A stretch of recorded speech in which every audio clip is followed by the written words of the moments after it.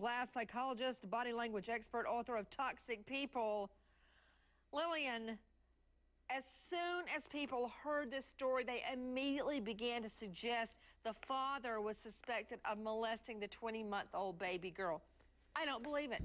I do not believe I agree. it. I agree with you, Nancy.